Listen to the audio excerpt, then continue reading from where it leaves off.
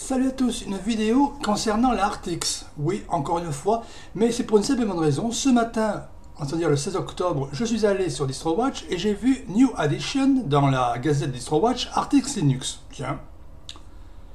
Artix Linux, c'est une forte continuation, blablabla, Dash OpenRC, Manjaro OpenRC. En clair, c'est la suite plus ou moins officielle de la Manjaro OpenRC. Manjaro OpenRC qui était un projet ultra intéressant et largement plus intéressant que l'Artix au final, qui permettait d'avoir une base OpenRC avec une base ARC à peu près potable. Bref. Donc là, c'est la version 2017-08-08. Je vais sur le site officiel de l'Artix, en passant par la... Donc apparemment, être originaire de Grèce. Bon. On va sur Artix Linux et on voit nouvelle image XQT, nouvelle image ISO XQT en date du 15 octobre. Bon, c'est peut-être pour ça aussi que DistroWatch a décidé d'ajouter euh, à sa base de données indexée. Donc, récupérer là depuis nos miroirs. Nous avons les SHA 1 sum. Donc, j'ai récupéré l'image ISO pour gagner du temps. Dans l'Artix, euh, voilà. L'Artix 2017, voilà. Et je vais vérifier avec la base, avec la clé SHA 256 si l'ISO est valide. Parce que ça peut arriver à mauvais transfert. Donc, j'ouvre un répertoire. Voilà. On est bien. Donc, je fais SHA 256 sum, suivi du blablabla. Il va nous donner une clé que je vais copier et rechercher dans la base de la page pour voir si elle est bien présente. Donc, crac, édition, copier rechercher, bam. Donc on voit, on a la clé complète. Donc déjà, on peut se dire, on peut utiliser l'image ISO, elle est valide, du moins par rapport à ce qui est proposé. Fermons la parenthèse. Et on va voir la gueule du résultat. Donc je ferme ça. J'ai créé déjà une machine virtuelle avec une base Arch Linux. Donc je vais juste mettre démarrage sur le lecteur disque euh, des ROM, 2 CPU,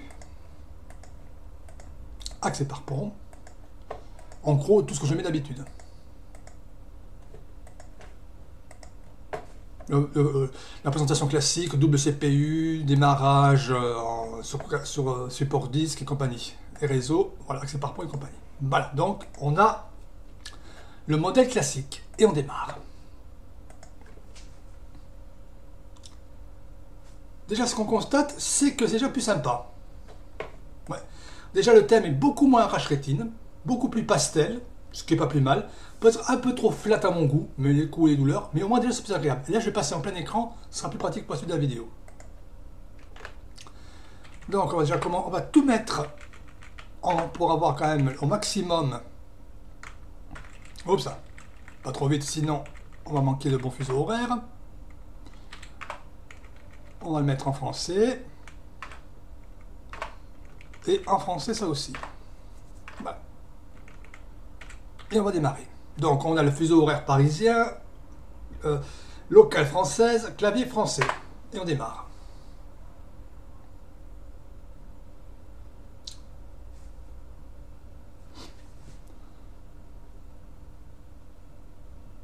Donc on a un OpenRC 032.1, d'accord.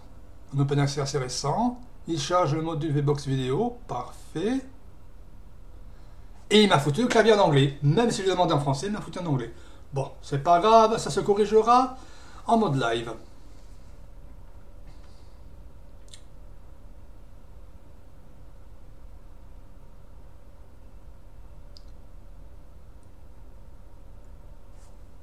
Donc on voit que c'est Artix Artix et j'ai pu apercevoir un noyau 4 LTS 4.9.56, donc autant dire un noyau LTS récent.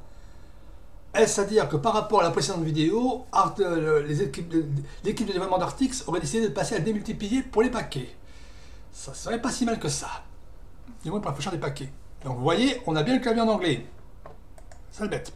Pas grave. Voilà, on a le clavier français. Donc c'est bien un noyau 4956. Et on va voir s'il y a des mises à jour à faire. pour voir s'il y a des mises à jour à, effectuer ou pas. Donc ArfBuzz et menu cache, on va mettre les mises à jour. Ça va pas euh, impacter grand chose parce qu'ArfBuff, pacman-si ArfBuzz, je crois que ça concerne l'affichage. Euh, c'est pour l'affichage des, textes, des caractères. Donc ça va pas influer sur grand chose. L'ISO est très light parce qu'il n'y a pas de navigateur internet déjà. On n'a que Calamares. Et on a un XQT 0.11. Normal. Bref. Donc je lance l'installateur. Est-ce que là déjà. Donc on va voir le PCMan FM Qt qui va bien. Si je le lance, ça sera mieux. Voilà. Donc euh, là, le truc classique. PCMan FM Qt. Oui, d'accord. Et par contre, la navigation réseau, allez vous faire voir. Bon, c'est pas grave, on verra en post-install. Et on lance Calamares.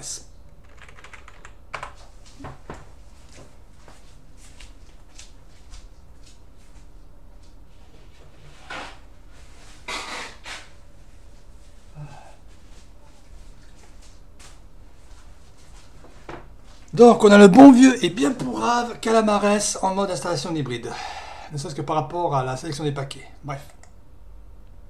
Voilà donc le 3.1.5, un calmarès récent.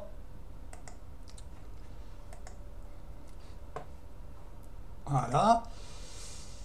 Ok, on va mettre tout en automatique, comme ça il n'y aura pas de paramètres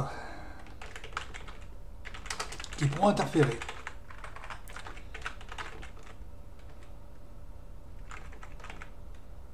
Fredo Artix. Voilà, et je veux les mêmes passes. Alors, système. Bon, réseau, bien sûr, je le veux. Outils de développement, c'est plus pratique par la suite.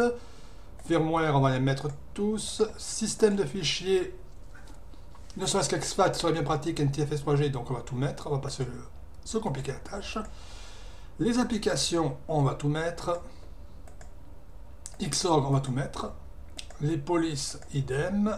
L'audio, pareil, et l'impression, pareil. Le seul truc que je ne vais pas complètement installer, c'est le niveau du bureau, parce que je ne veux ni de plasma, ni de cinnamon, ni de U3. Donc je vais juste prendre LXQT avec le gestionnaire de démarrage. Voilà. Parce que sinon vous avez plasma à la totalité. Et comme je veux uniquement LXQT, voilà. Et on est parti. Suivant. Donc, il est 10h06. Voilà, donc là, je vais essayer. Voilà. Il est 10h06. Je mets la vidéo en pause et comme c'est installateur en mode en ligne, donc un peu plus long que le mode en ligne, je vous dis dans un, quart d'heure, 20 minutes, quand l'installation est terminée, à tout de suite Bon, on est de retour 6 minutes plus tard. Euh, je pense qu'on n'ira pas beaucoup plus loin parce que vous avez la raison. Voilà, vous avez la raison. L'installation a échoué.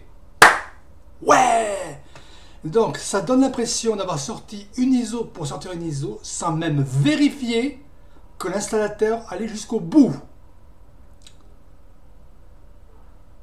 Merde est-ce que l'Artix, les développeurs de l'Artix sont tombés dans une forme de, nous d'enfermement technico-religieux qui les empêche de vérifier simplement qu'une ISO démarre et s'installe correctement? C'était trop dur de lancer une machine virtuelle et de vérifier que ça s'installait correctement. C'est dommage, parce qu'apparemment il y avait du boulot qui avait été fait, mais on ne peut pas en profiter. Moi je m'excuse, c'est la pire des publicités qu'on puisse faire en distribution. Je ne ferai pas de rapport de bug pour une simple et bonne raison. C'est le genre de truc qu'on vérifie en interne avant de proposer une ISO où on dit attention, cette ISO est instable, veuillez nous faire des retours. Moi, je continue à penser, comme j'avais dit dans ma vidéo du 22 septembre, que cette distribution est démesurée par rapport à l'équipe de développement. Ça me fait mal au cul de le dire, Mais j'avais malheureusement raison. Donc, vous voulez une Artix Linux Vous voulez une base, pardon, vous voulez une base OpenRC Fuyez sur Gentoo et Funtoo.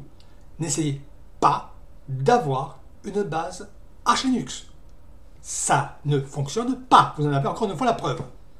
C'est quand même terrible de voir à quel point l'intégrisme technico-religieux de certaines personnes les empêche de faire des trucs basiques comme de vérifier une ISO dans une machine virtuelle avant de la proposer au public.